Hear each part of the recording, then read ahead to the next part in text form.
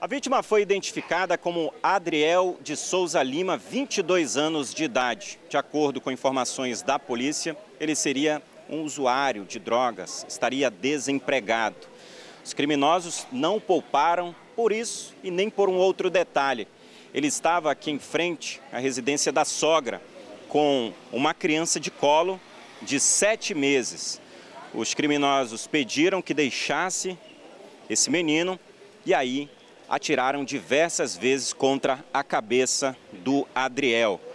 Ainda conforme a polícia, ele teria o apelido de Batoré. Ele foi assassinado na tarde desta quinta-feira no bairro da Compensa, aqui na rua 1 de junho, Compensa, zona oeste de Manaus. Os policiais militares da 8 SICOM eles vêm para cá para isolar a cena do crime e também já há a presença também da perícia, os peritos aí do Departamento de Polícia Técnico-Científica e do Instituto Médico Legal. Isso é um trabalho também para os investigadores da DHS, Delegacia Especializada em Homicídios e Sequestros.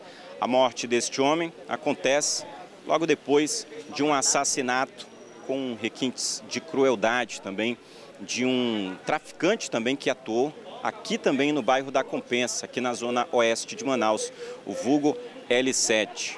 Muita gente cogitando aí uma sequência de mortes no bairro da Compensa, mas é aguardar para ver os próximos capítulos dessa história de violência urbana que acaba pondo como reféns os moradores aqui do bairro da Compensa.